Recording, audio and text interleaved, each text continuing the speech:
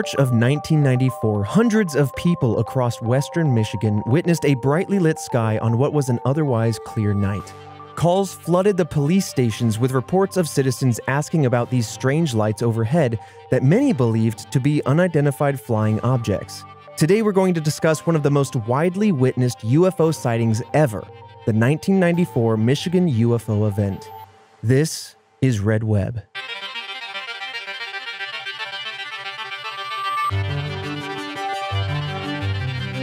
It is another Mystery Monday Task Force. Welcome back to Red Web, the show all about those unsolved mysteries that keep you up at night.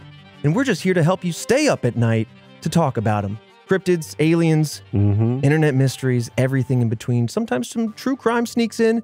I'm your host and your resident mystery enthusiast, Trevor Collins, joining me, hearing this mystery for the very first time, Alfredo Diaz. Yes, I am, and we're recording this on a Wednesday. Boom, exposed. Dang. I don't even I don't even think people know that we record on Tuesdays, but here we are.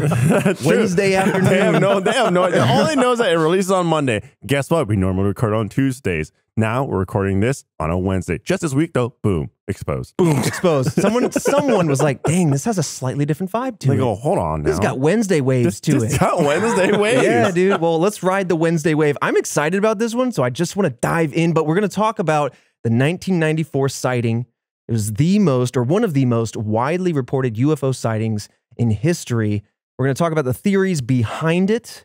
And we talked about this a little bit last week, but I find this episode to be so serendipitously timed Oh yeah, yeah. because of everything going on. I don't know Mhm. worldwide if you know about this task force, but of course we have UAPs, balloons, high atmosphere sort of situations, things getting shot down, one of which in the Michigan area, I believe. But this was submitted by you, task force, so thank you so much for uh, sharing this one with us. I want to dive in. The 1994 sighting. Have you ever heard of this? uh, no, but I was a baby during this time. Okay. Not a well-informed baby. This, this baby was Has not really well nothing read. to do with it, other than I was a baby during this Maybe time. not watching the news, I guess. Yeah, I was a Yeah. three year old plump little boy. All right. March 8th, 1994. Over 300 residents of Western Michigan reported seeing a strange occurrence in the night sky that evening. Witnesses all over the place reported cylindrical lights blinking different colors in the sky. The first sighting occurred around 9 p.m., and they would continue to be spotted for several hours yet to come. This is where things get really, really interesting. We're creating like a little Michigan ecosystem here in the last month or two.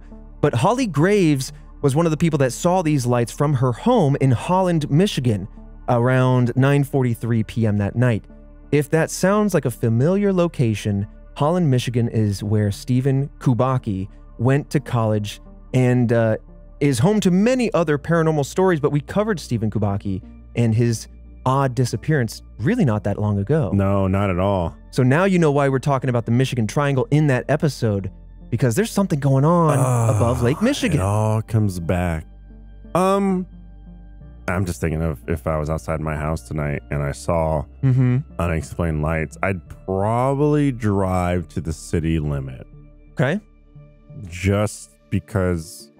Wha- two things. Do you think they respect jurisdiction or? well, no, it's just like you, you ever see any any type of like the world is ending, zombie apocalypse. Got it. I see. like the main roads get super clogged up. Absolutely. And I'll be honest, I'm not one to know or probably don't have a vehicle capable of just off road driving like that. yeah. So I'd be stuck on the main roads. So I'd at least drive out to city limits yes. uh, just as a exactly- precaution. Yeah. Just Mhm. because at this point, this, this, boy, oh boy, does this podcast got my tinfoil hat on tight. Oh yeah. You know what? I've I've been thinking about a new product. Okay. Stealth tinfoil. That way you can stay protected Huh. in a stylish way. Huh? I'm just pitching this now, Christian. Write this down. A hat lined with foil. Hmm? That, He, I hear the clicks and clacks. mhm. that's, I'll be honest, ridiculous, but also genius. All right, we'll put it in the we'll put it in the old tumbler and see what comes out the other side. but I mean, like, But no, I mean, yeah, that's a great idea though. Like, like You're right. one, I'll either be like, okay, stuff's hitting the fan. yeah. I'm at least able to maneuver, Mhm. right? City's locked down real quick. Oh yeah. Two, if not, I don't know. Maybe I just check out a McDonald's that I don't, don't normally go to. Right. You know, I there's a home. Buc-ee's just outside of town. Right. That's your excuse. There you go.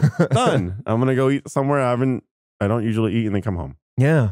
So Graves, after seeing this from her home, called 911, of course, as many others did, and described the lights like this quote, a string of Christmas lights way up in the sky. Graves recalled that she and the officer, the officer actually saw these as well, witnessed the lights constantly moving and resembled one large spotlight in the sky. After the officer left, because I guess there was a home visit after the call, the spotlight then broke up into five different lights and then formed into a circular shape. This is a very common story you're going to hear from many different witnesses corroborating whatever went down up in the sky that night. Her 911 call report matched the sightings of more than 300 other individuals that would call in that night to various Michigan counties.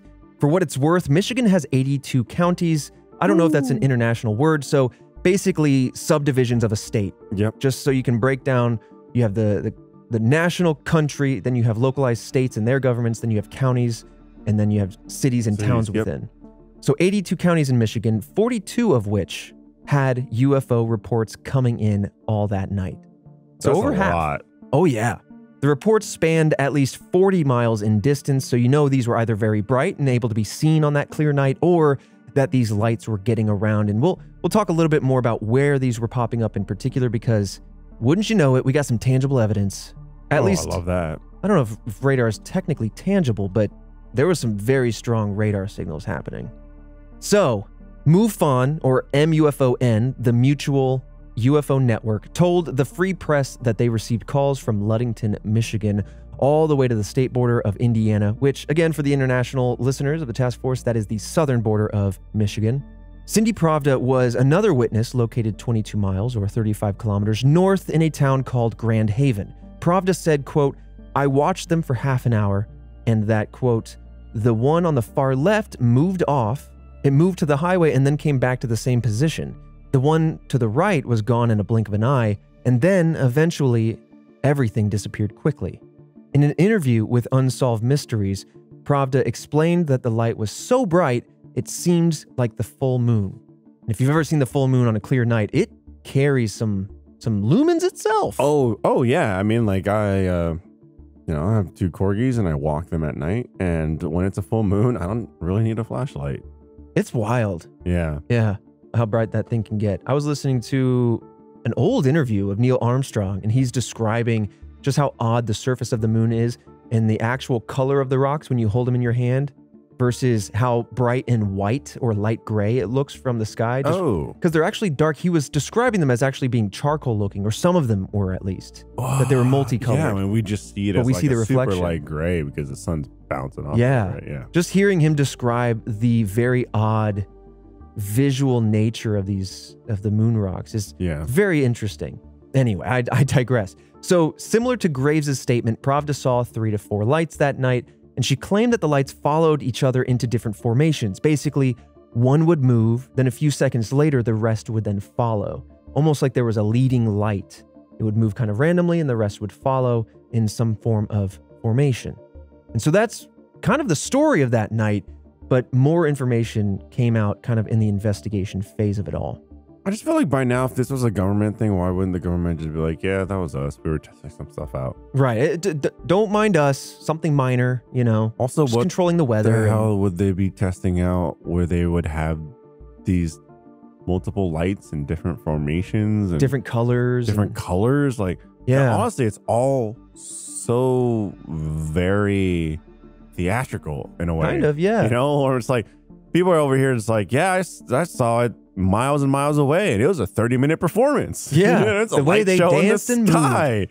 I'm wondering too, like, we've been pretty open in talking about aircraft that has once been classified that then got declassified. Yes. And it's so funny, we've talked about that enough that we, in the midst of talking about that, have seen yet another stealth aircraft be declassified in, re- Yes, in the recent year or so. And when I think about this, you think of lights in the sky. Is that maybe a distraction from tests of secret aircraft? Are those lights for a secret aircraft to use as a point of reference? I don't know exactly what they would be, but It makes me wonder if it has anything to do with high altitude stealth aircraft that you definitely wouldn't see even on a Mhm. clear night.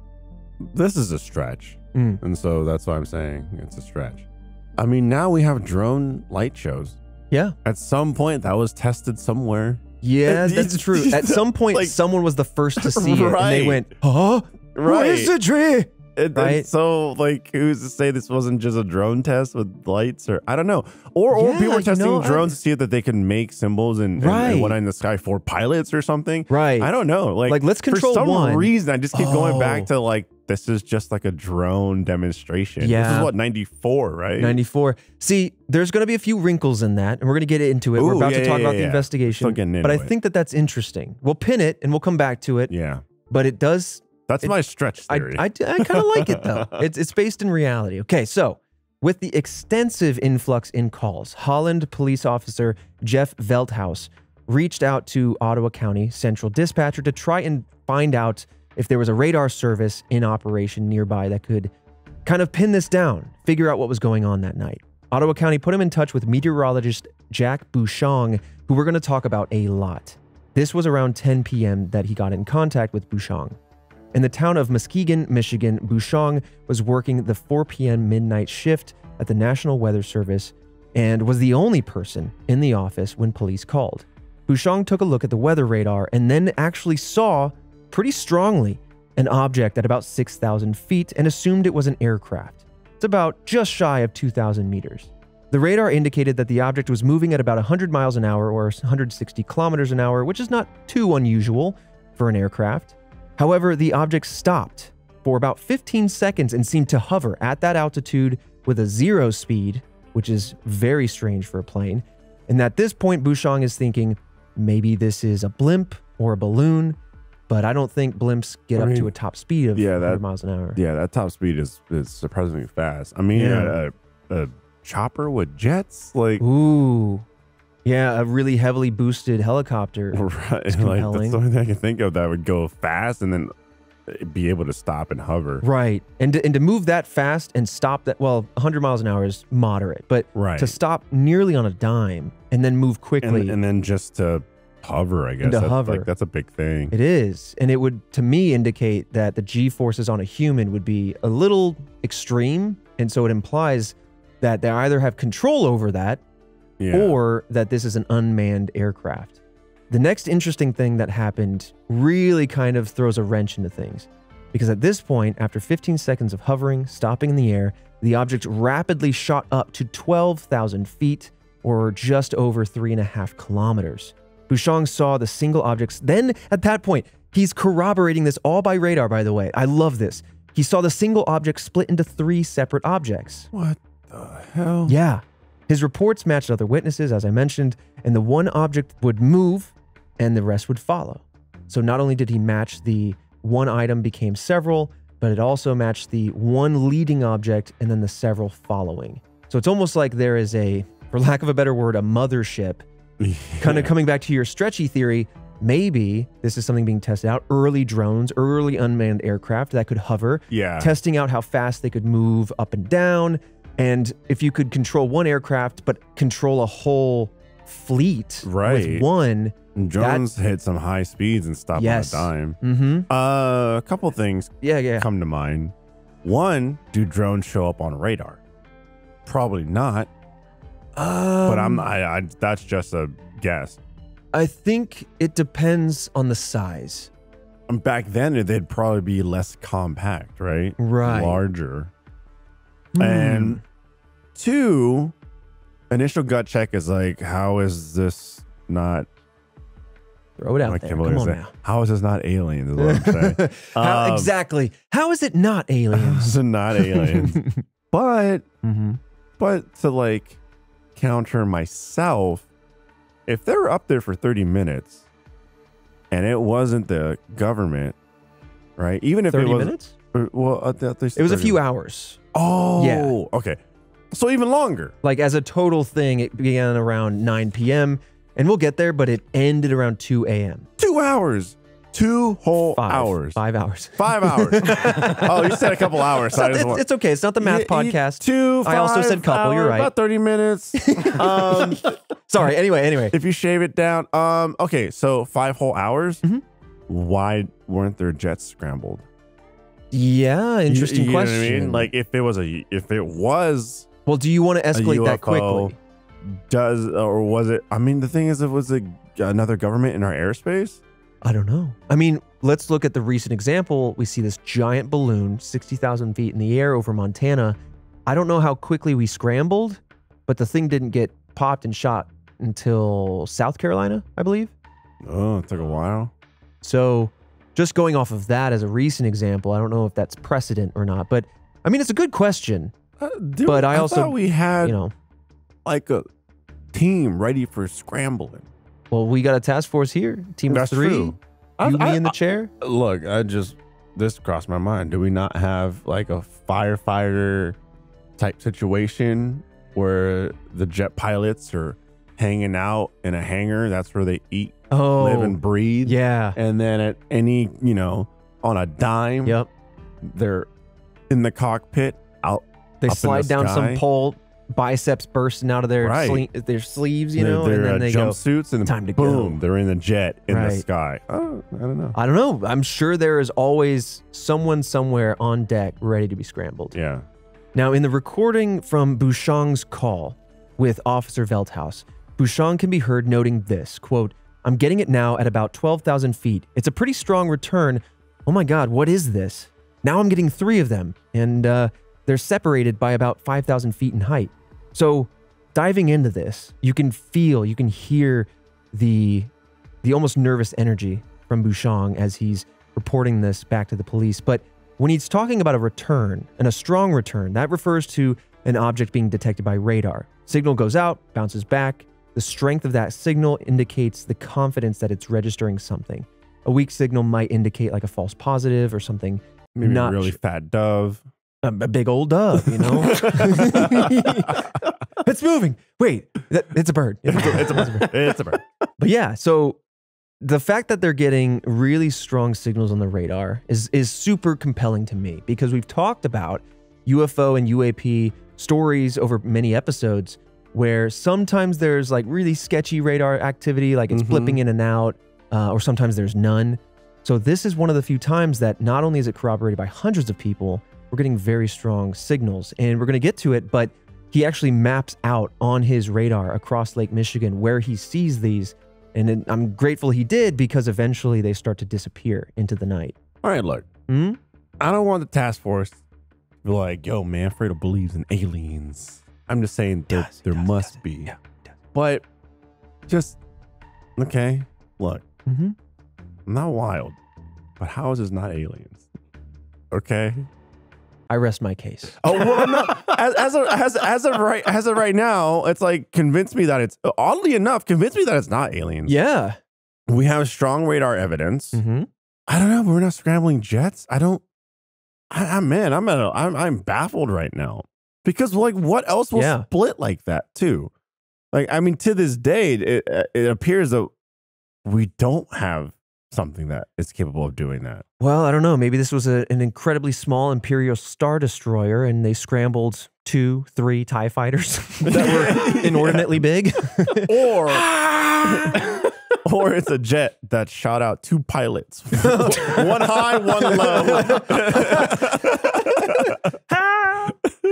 yeah, I mean, it's it's very interesting. That's why I'm super excited to have covered this one. I just wanted to dive in. But at this point now, yeah, there, there's a few objects still hovering very high, 7,000 to 12,000 feet, or, you know, between two kilometers and three and a half kilometers. So at this point, Bushong noticed the aircrafts were stationary over Lake Michigan and were hovering, interestingly enough, over the only part of Lake Michigan that wasn't frozen over. Christian, can you look up how many square miles Lake Michigan is? Just because I'm curious. It is a big lake.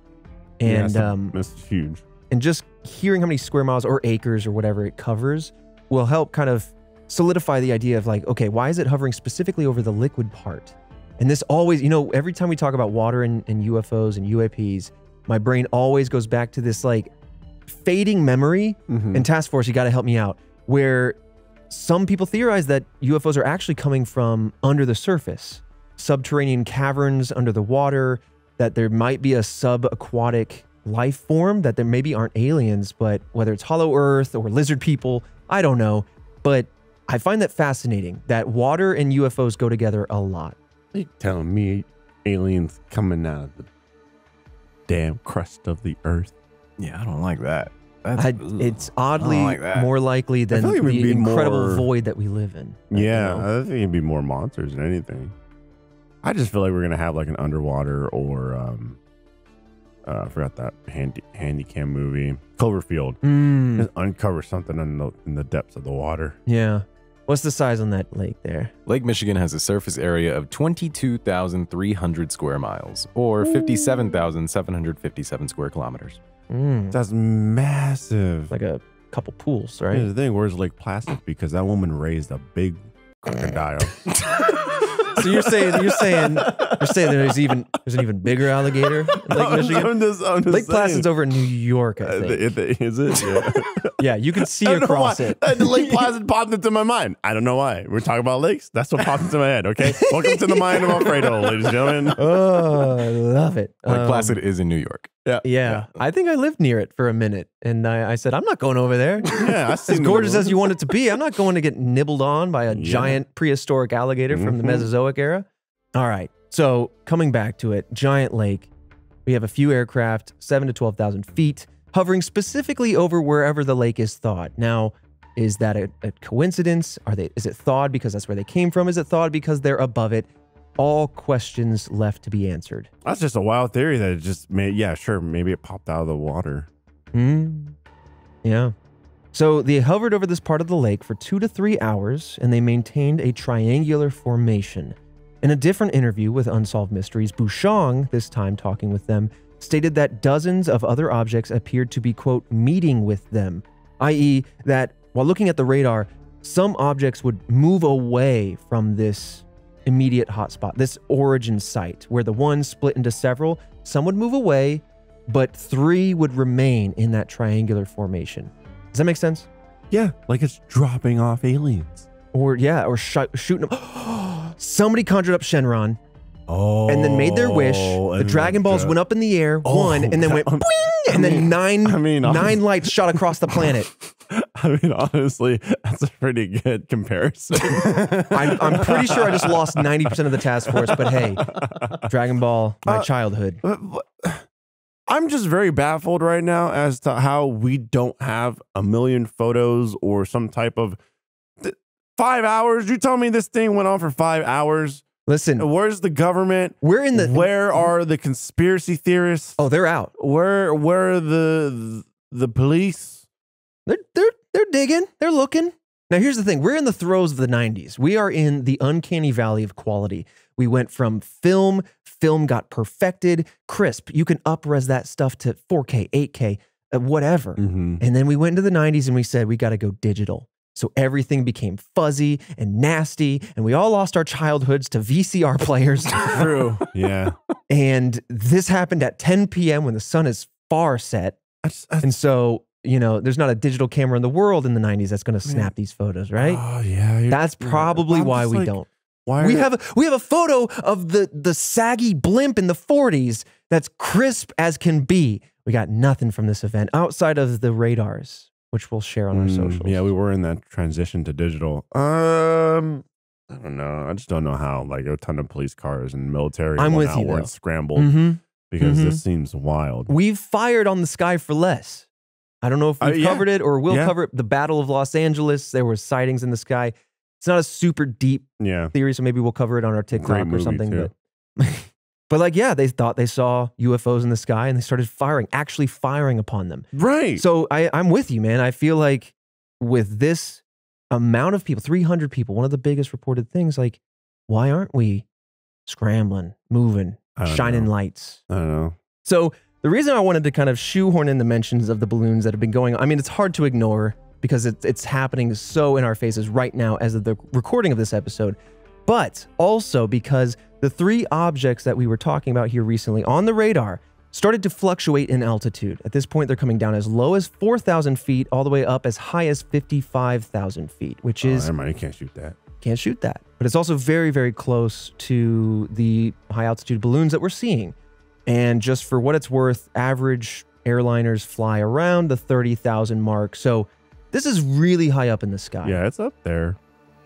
Um, what if that is um, maybe the balloons we see today are them returning? Oh, they're back. We I want to see them at night.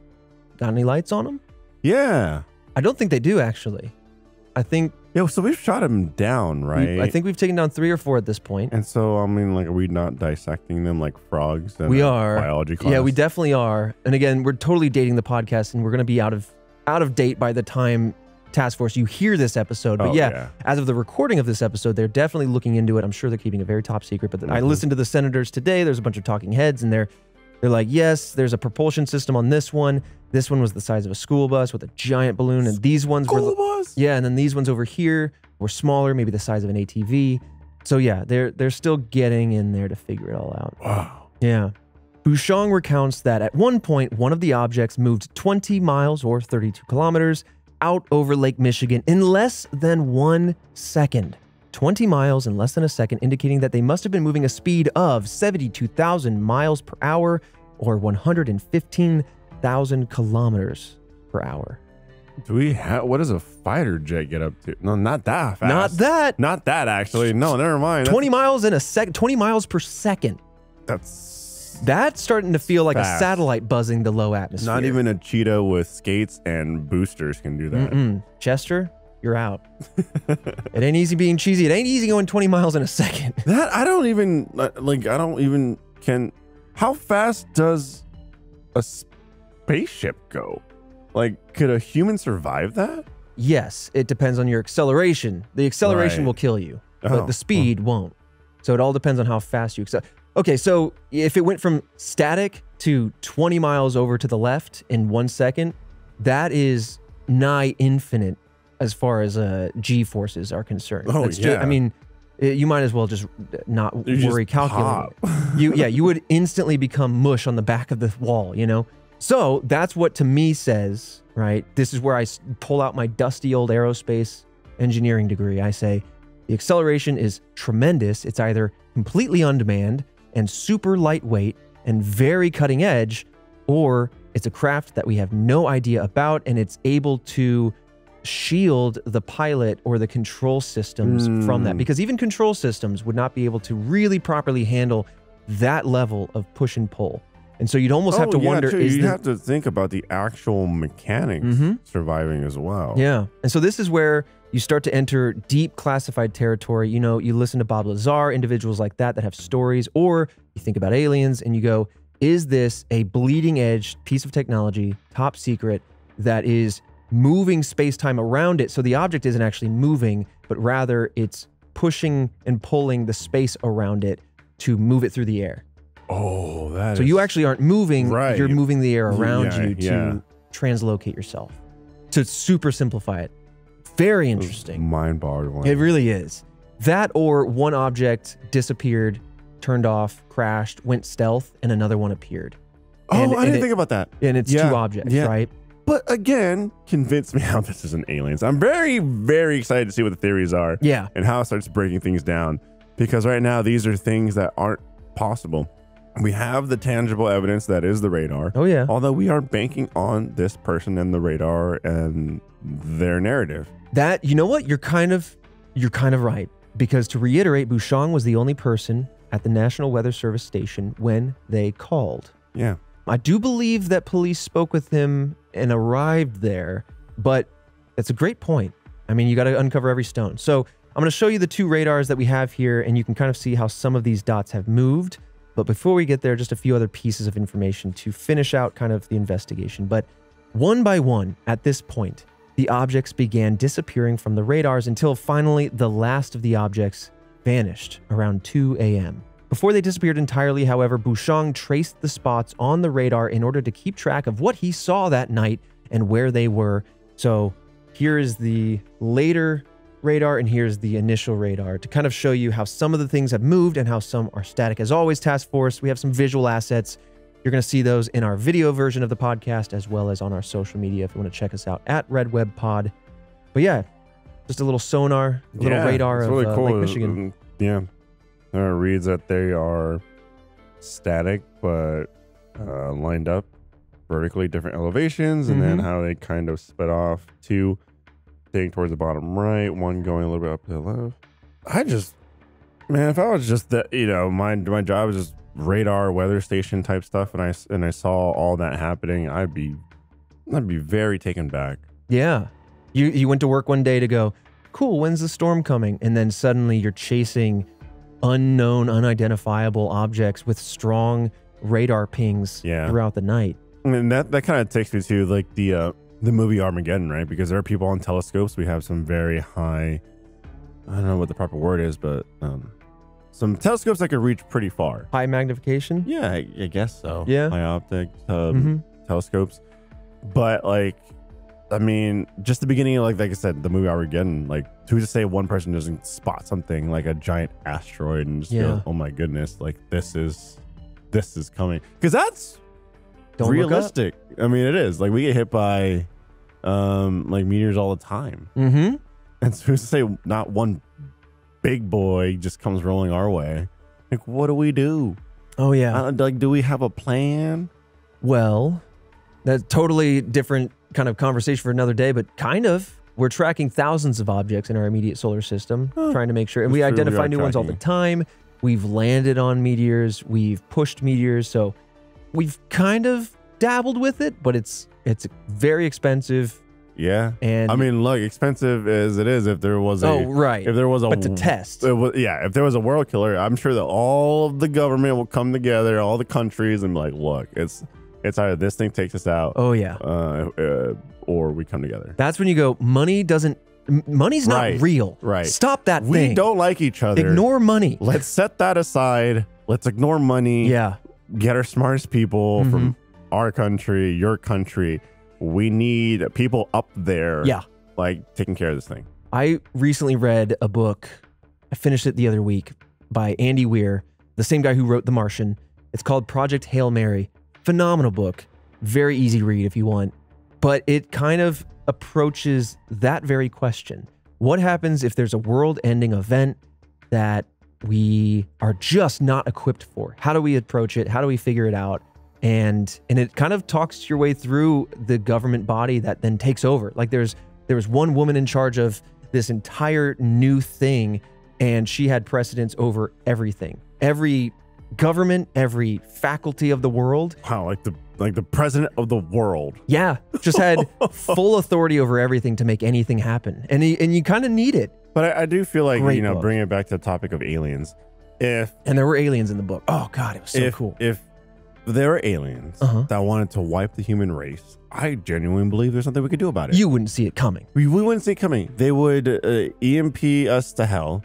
Uh, like you know what I mean? Cut off like routes, uh, shipping lines, all that kind of stuff. Like nothing would touch the sky. Like they'd send Or they'd leave us alone and we'd do it ourselves. Right. Not no, to no, be so pessimistic, Right. but- No, completely. But I just I just feel like if if a species has the ability to travel across like, you know, the universe and all that kind of stuff, they Mhm. wanted to, just they're there's they're- Yeah. at that at that point they're so far advanced Yeah. you're like, oh, they have oh cool, they have electronics and touchscreens. Like we just we just drop this into the sky and there goes all of it. Yeah. We're talking type 1, type 2 species, you know.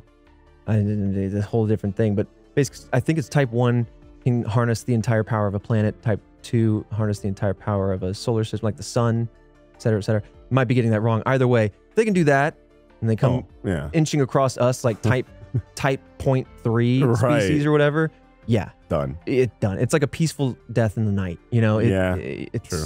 donezo. All right, coming back to Bushong. So at this point, Bushong said he called the FAA to ask if they had seen anything else themselves that night on radar. Bushong claims when talking to them that he saw three aircraft that didn't have transponder codes. Transponder codes are four digit codes that help air traffic controllers identify specific aircraft. And the three aircraft he claims they saw corresponded on radar to the location of the three lights that countless witnesses were reporting. Basically, he's saying that there were three unidentified aircraft that lined up pretty nicely with these lights. The story quickly gained national attention at this point, and even more witnesses came forward, as we've seen with many stories. Once it goes Yeah. public, it really goes public. However, no concrete evidence was ever provided, and no explanation for these sightings was ever found. We're going to talk a little bit more about witnesses' stories and the theories. But before we get that, I do want to give just a small anecdote from the director of the National Weather Service because it was kind of a theory, but it really isn't. And you'll see why. So, Okay. a year after the event, the Chicago Tribune, which is a very nearby city, by the way, interviewed Leo Grenier, the director of the National Weather Service in Muskegon.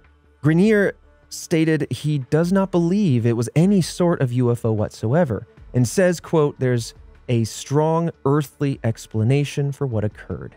However, he never elaborated on what that explanation might be, and he told local reporters that he had a pretty good idea. In his words, quote, pretty good idea. He refused to speak on it any further and said a few times at that point that he might tell people once he retires from the National Weather Service. Unfortunately, Grenier passed away in 2005, and it appears that he did not ever share his theory publicly, and so we will never know what his pretty good idea of what went down that night must have been. A pretty good idea. Then tell us. Right. Let us know. Put it on a piece of paper. So, uh, you know, But with a I dead just- man switch kind I- of thing. Mm, I, I don't know. Because if it's something that's like, okay, I have a pretty good idea, and you know what? I'll tell you guys eventually. To me, that tells me it's not government secret stuff. Mm. It's not like someone else invading or aliens. Well, maybe it is because he Or, wanted to uh, protect his job. I'll I'll wait until retirement and then I'll say it. Right? What like what does that tell you in your gut check? I mean, my gut check tells me that's something that's lighter. Oh, really? Yeah. It's like I'll tell you, uh, you know, I'll maybe tell you later. Hmm. But I, I don't know. You think I- if it was like a government was- secret, he'd be disappeared, kind of? uh, more so, just like don't say anything. Yeah. You know, Yeah. instead of being out here like, oh, I'm kind of teasing it. Maybe. Yeah. Okay, I can see And- that. and the whole thing being it's like, there's a really good, there's a, there's, I have a pretty good idea what this is. Yeah. I think that kind of like throws you off, right? It just seems so like, all right, this is- Nonchalant. it really does. Pretty yeah, I laid think I know back. what this is. Yeah, I think I know what this is, and I might, I might tell you guys when I retire. Not anything like top secret or or, or scary or Mhm. over the, you know what I mean, like over the top or anything like that, or or just like people are knocking at, at his door. But that's just my gut check on Yeah. that, right? Because it just it, it it lines up oddly for me. Yeah. All right. Well, that was kind of a theory, but I wanted to kind of. It's so shallow. It's a non-answer. Right. But I wanted of to pull that. Yeah. They passed away because I was like, well, where are they now? They're Mhm. probably in their retirement, but of Mhm. course they passed away, Mm-hmm. and we know nothing. We know nothing. That's what I'm saying. Like, queue up, as it's called, a dead man switch. So that way you can kind of withhold the. It's basically like an email, right? If I wanted to have an email go off, so that way if I stopped doing a certain action on my computer, the email would fire off, Mm-hmm.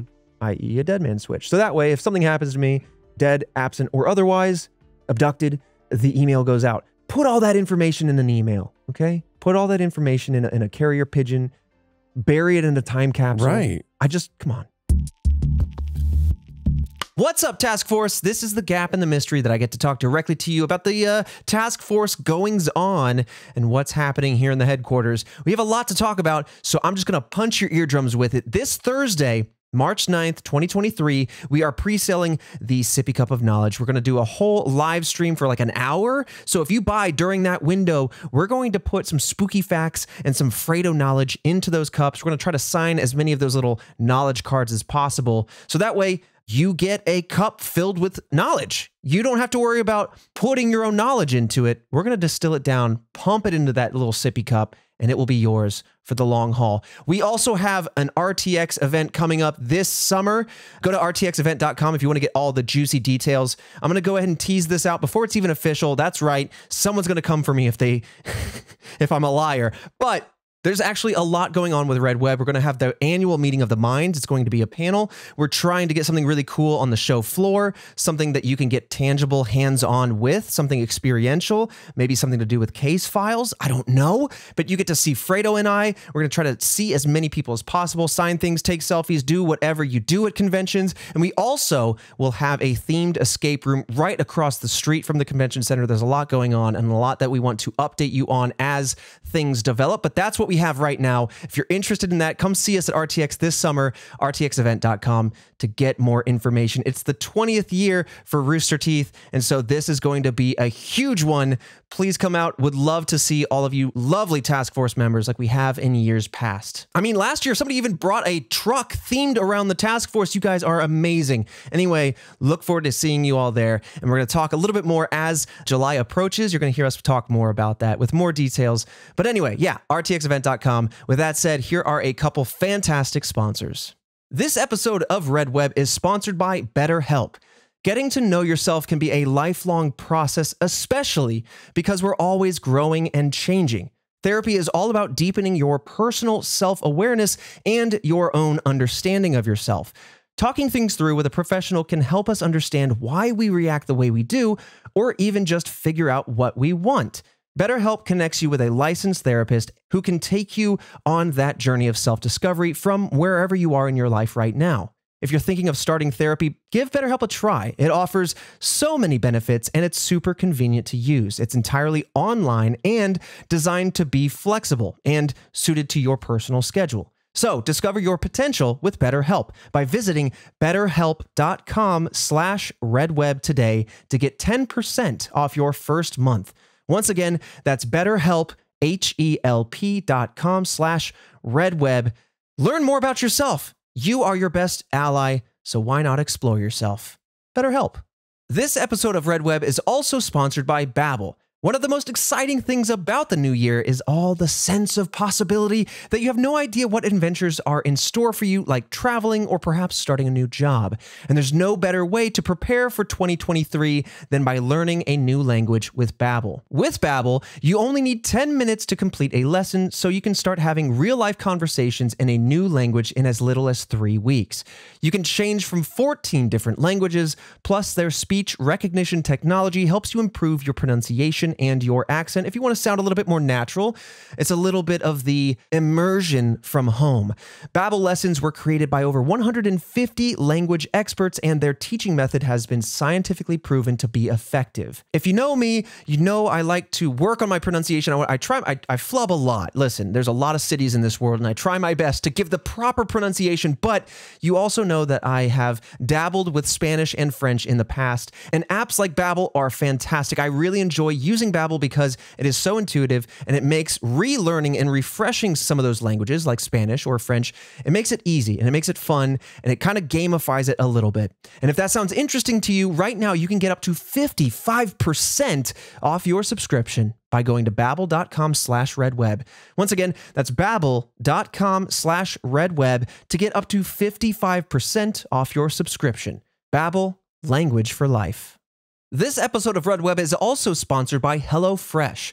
Food inflation has been wild the last year or so. I mean, look at eggs, but we've all got tighter food budgets. That's the fact. That's why it's the perfect time to consider HelloFresh. It's cheaper than grocery shopping and 25 less expensive than takeout. HelloFresh sends you excellent recipes with pre proportioned ingredients right to your door. So, on top of saving money, you also save yourself a trip to the grocery store. And with HelloFresh, you can still have flexibility. They let you customize, select meals, and swap out proteins or sides, and even add protein to a veggie dish if you so choose. You can even upgrade for organic chicken or organic ground beef on select meals, and everything is oh so mm, fresh. You know, I've talked about HelloFresh many times in the past, and I really do enjoy it. You know how much I hate the grocery store, but I love those fresh, fresh, good, good meals. In fact, I haven't had a single meal from HelloFresh that I didn't like. Last night in particular, I made their hoisin glazed pork tenderloin recipe. It was so good. It's not very often that I make pork, but it was really awesome to get familiar with their recipes because they got the pictures. It's very simplified, and you can keep those recipes for the long haul if you so choose. But it's a really good service, and I like that it all comes to my door. It's very fresh. You know it's straight from the farm and everything like that. I love it. Go to HelloFresh.com slash RedWeb60 and use code RedWeb60 for 60% off plus free shipping. That's some good stuff right there. Again, 60% off plus free shipping at HelloFresh.com slash RedWeb60 using code RedWeb60. Get your grub on and HelloFresh. With that said, let's get right back into the mystery. All right, let's talk about some of the theories going on in this sighting, this wild night of sightings. So before we dive into any specific theory, we're going to do something unique. We're going to talk about all the obvious answers. According to the Chicago Tribune, researchers have ruled out small planes, helicopters, as you mentioned, military aircrafts, advertising blimps, weather balloons, marsh gas, satellites, falling stars, and space debris. The meteorologist Jack Bushong determined that the object he was viewing on the radar weren't rain or any other storm cell or any other weather based phenomenon. He described the object as smooth and reflective, which was determined by the amount of energy coming back on the echo. Once again, talking about that strong signal return. Yeah. Bushong was also able to rule out swamp gas, stating that swamp gas cannot be detected by radar, nor was it any sort of super refraction of the radar beam, as the movements proved otherwise. Nor is it possible at the level that Bushong had raised the radar antenna to. So, with that said, let's move into the first theory ground clutter and storm cells. So funny to go from Bushong saying, not a storm cell, but we're going to go deep on it. That I like that. that. Honestly, one thing I didn't think about was advertisement. It could have been Yeah. like a viral thing, right? Ooh. Where it's like there's just weird lights in the air, whatnot, and all of a sudden it's like buy Pogs. Yeah, you shine a light on it and it goes, drink your Ovaltine. You're like, oh, Ah, ah. But yeah, it's gotta be something in the '90s. Like Pog was a thing. I never got into POG. Okay, so the first theory we're going to talk about, counter to what Bushong was saying, because there's more to talk about here ground clutter and storm cells. Not wanting to have any affiliation with UFOs, shortly after the incident, the National Weather Service stated that the returns on the radar could could have been by a temperature inversion. This is not the first time we've talked about this being at play. It's a rare phenomenon, but it is entirely possible that it might have happened. A layer of warm air, basically a few thousand feet above the Earth's surface, inverting, interacting with cold air, and other meteorological events. I'm Mhm. gesturing wildly because I'm I listen, this ain't my bag. It's science. Here's the thing Mhm. that explains radar, does not explain the sighting that people see. The lights and the yeah, moving and the lights following. yeah, yeah. Mhm. It doesn't explain that. And you know, unless you got something else for me on that. Yeah. So we'll continue on here and we'll see what we what we got. So the phenomenon is called ground clutter. However, as I mentioned, Bushong has since stated, as kind of being part of the National Weather Service, he's personally stated that because of the incredible heights that the objects reached, ground clutter must not have been possible. It's not a possibility. There were also suspicions that the objects on the radar could have been storm cells or some other type of weather phenomenon. However, in the call with Officer Velthouse, Bushong stated, quote, I have never seen anything like this, not even when I'm doing storms. These aren't storms. Bushong also went through intense radar training whilst working at the National Weather Service. So, all in all, it is a possibility to answer. I don't know, it's even flimsy on the radar side, but to your point, it doesn't answer the, The objects sightings. following one another. Exactly. That's that's the thing. Tons of people in different area, miles away, don't know each other. Right. But this five hour light show Mm-hmm. doesn't explain that. The only thing weather based, and I still don't properly understand it because it is so misunderstood, uh, because it's so rare, is ball lightning. So it's so rare to the point that I don't, I don't know if we know it exists. Christian, I don't know if there's anything we can find on that. But, and, and uh, forgive me for my layman's terms here, but ball lightning essentially being the idea that lightning, for whatever reason, for whatever purpose or causality, is is like just a sphere of lightning a super bright flash in a sphere shaped. When do we hear the thunder though? It's a great point. And this is going on for five hours, but I don't know if it flashes and blows up or creates that sonic boom that that thunder or that lightning does. I don't know. Again, this is this is totally estranged territory for me, but I have heard it talked about a good amount. It's just not well known. Mm. Are you asking if ball lightning was seen during this, or I guess, if ball like- lightning is seen in general? Well, I'm, yeah, not I guess I'm just asking question. like do we know for a fact that ball lightning exists, Mhm. whether we understand it or not? Like, Yeah. is it a confirmed phenomenon and Yes. we just don't understand it yet? Okay. it is a confirmed phenomenon. Okay. So much like somebody screaming aliens, I'm just gonna scream ball lightning. Oh yeah. You know, I I, mean, don't it's know. super rare. That would be disorienting all in itself. Yeah.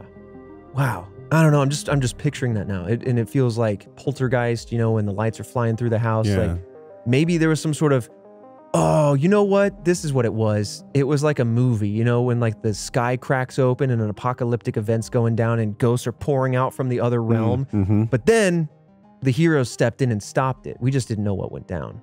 Oh, It's like it's like Ghostbusters, except right. None of it was documentary. Uh, Yeah. none of it was documented, and it just happened over a lake. and it happened over a lake. okay, moving on to UFOs. The Mutual UFO Network, who we talked about before, MUFON, they began investigating the March 8th incident. And while MUFON, I'm going to call them MUFON, I'm not sure if that's what they go by, but MUFON, they claim that they can debunk 80 to 90% of UFO cases that are sent to them. They have not found any scientific explanation for this particular occurrence. So that all is all that's to say is that we've I- talked about many UFO Yeah.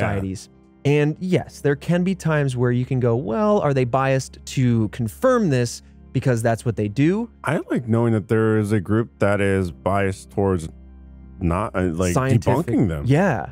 It reminds me of TAPS, Yeah, the Atlantic Paranormal Society, also a ghost show, Ghost Hunters. I love that. That's their angle. And that's kind of what we do on Ghost Hunts is we come in with an open mind We and we're going to debunk whatever we can, but every, anything that we can't figure out, Mhm. we'll leave it open. And that's kind of what they're doing here. I like that. I mean, I love that that exists, but it also makes me go, "Oh, okay. Well, they can explain it." I again, I just a lot of confirmed things that it's just very hard to explain. Mm-hmm. This is a, this is a tough one. Usually, I as soon as you said UFOs or UAPs or whatever we calling them now, I went military aircraft. That's what I'm gonna lean on. I feel like I can't lean on that for this. why not? I just the the movement, the movement, and and the longevity of it. Give it 20 years, we'll see something move like this in the sky. I'm telling you. Yeah. Is it the same thing? Is this an early like alpha I mean, version? It could maybe, be a super maybe early not. version. I just feel like we would have spotted something like this Multiple times. Multiple times. Yeah, that that's true. yeah. I mean, this type of movement does seem to be relatively synonymous with some other kind of desert based sightings of UFOs, but you're right. This is pretty extreme movement and widely seen. During Bushong's call with Officer Velthouse, he said, quote, planes show as pinpoints on the scope. Ooh, maybe this will be kind of further elaborate on your military aircraft yeah. He also said, quote, these were the size of half a thumbnail. They were from 5 to 12,000 feet at times, moving all over the place. Three were moving towards Chicago. I never saw anything like it before, not even when I'm doing severe weather. So that kind of backwards addresses, again, the storm cell idea. But that's a really good piece of insight. A thumbnail just being a small image, but in this case, a large blip. That's interesting. That it didn't have a very concise cross section on the radar. Instead, it had perhaps, I don't know, he doesn't say this himself, so I don't add words, but bigger or fuzzier dots on the radar.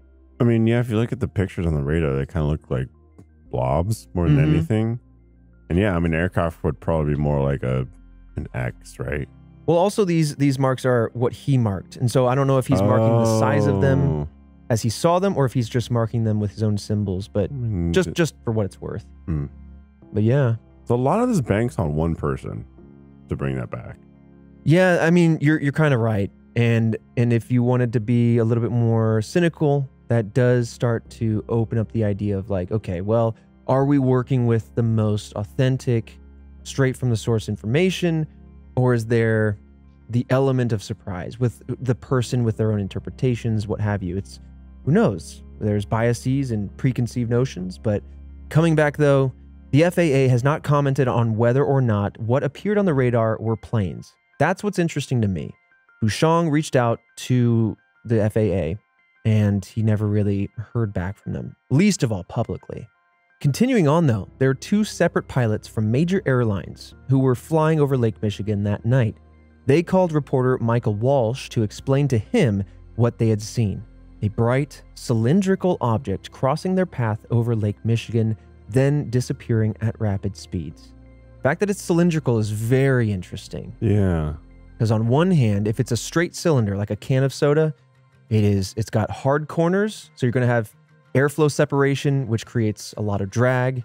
So this is a, an object I would gather that would be spacebound, where there is no drag. It doesn't matter Right. unless there are kind of half circle, half sphere ends to it. another piece, and this is just a fun fact from Arrow, is that this could be a highly experimental aircraft because cylinders, when rotated, spheres do the same thing like a golf ball. It's how when somebody throws a baseball, you can get the curve on it. You're Yep. actually creating lift by spinning it a certain way. Mm-hmm. So cylinders, if they spin fast enough, can create lift and can fly. It's very strange because that's not how we fly, um, but it is something. And so I just wanted to throw that out there to kind of open up the task force mindsets and see what the task force hive mind thinks on that. Is this like maybe a super experimental aircraft, a spacebound one, or I mean, true. I mean, who's to say? I would be surprised if the government didn't play around with uh, cylindrical Sure. crafts. we have a lot of weird aircraft.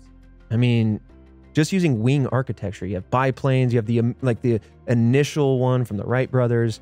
But you also have flying wings, as they're called, I think, which are like those stealth bombers, where the Mhm. whole thing is Yeah. essentially an airfoil. Yeah. There's no necessary fuselage of a cylinder with two wings on it.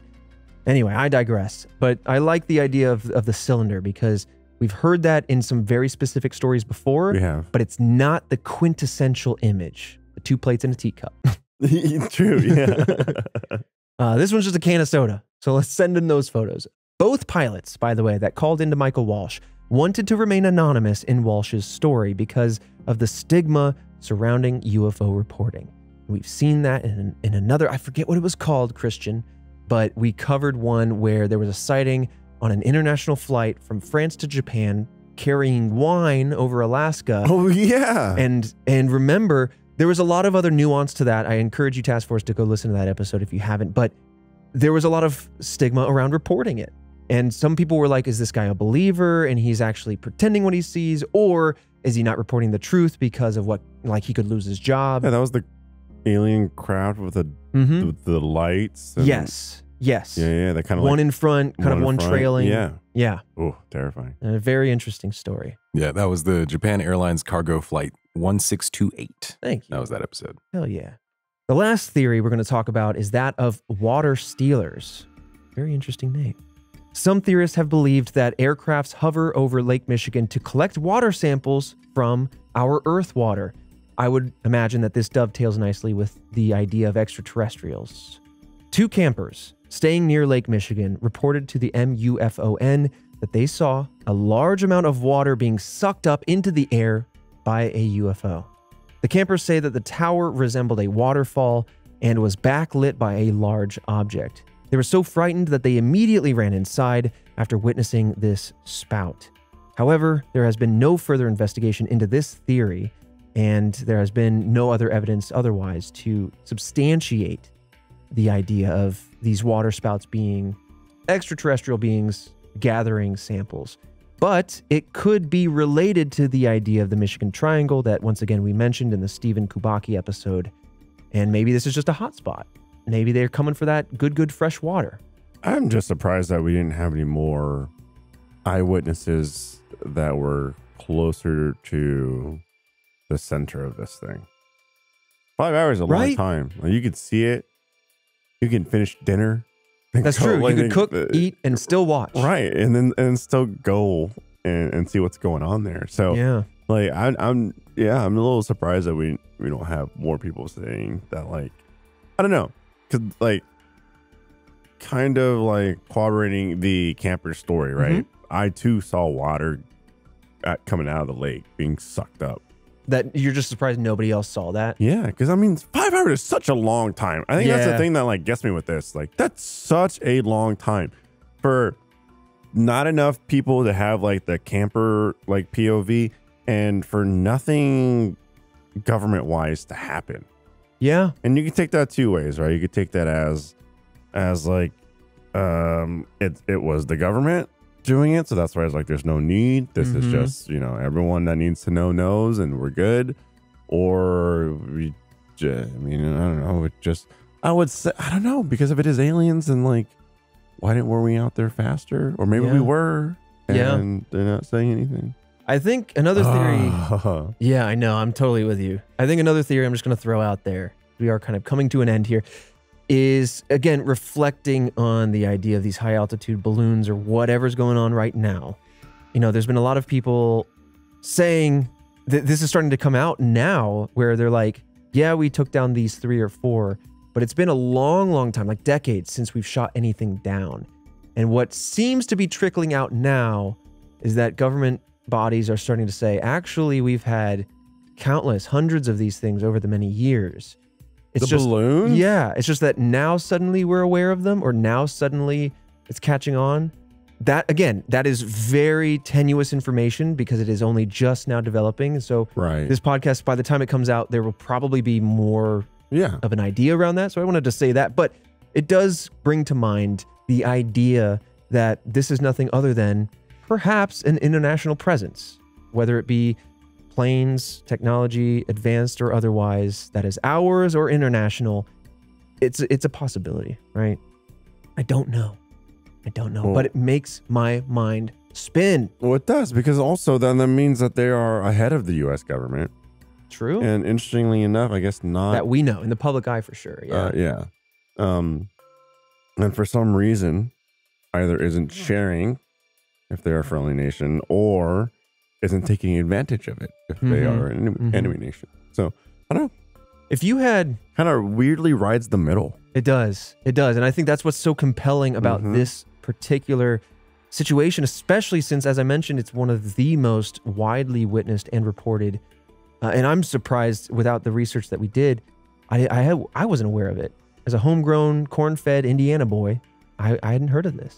Oh, you're 'Cause, just a baby. I was just a baby. I was three years old. I should have been running up there. Um, but man, I don't know. This this has my mind racing, and I'm gonna leave you. Usually, you throw out the hypotheticals. I, I want to leave with a question here and some exploration as we kind of wind down.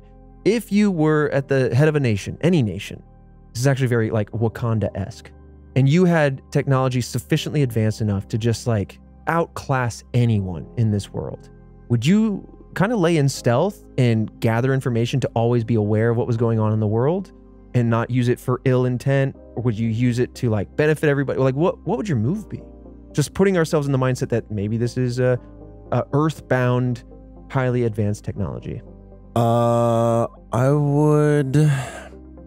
What I would do, and, and you're talking about just like having technology, like advanced technology. right like if you had a craft like this that could Mhm. just move 20 miles in a second you could probably survey the entire planet really understand your enemies your allies Mhm. whatever would you use that would you act on it would you share it would you stay hidden like um, honestly, and especially if, if we're on our own nation, probably share it to the highest bidder, and Mm. and, and in turn, like essentially, if if we were that ahead, I'm ass- I would double down and reinvest into it as well, Mm. right? And so stay ahead yeah to stay ahead. So essentially, they are f- the these other governments, these other countries, would be funding my nation to stay ahead. Got it. Interesting. And in so doing, you hope perhaps that you uh you end up with a global, cohesive humankind. And then we can finally get to the stars. Well, I guess it's just Right? everyone's spying on each other like crazy. That's, Yeah. that's, that's that's happening. Yeah. Or but but like yeah, in, in doing so, like you know, they are fund further funding our advancement Mhm. while they are Good for you. Better for me. running older technology. Mm-hmm. That'd be the hope. Man, so interesting. Well, task force, let us know what you think. What would you do with your great, great power of advanced technology? And Fredo, before I say what I normally say, two weeks out from today, March 20th, we won't have a proper episode. Taking some breaks, taking some time off for the research team, but otherwise, I will see you right back here next Monday for another mystery.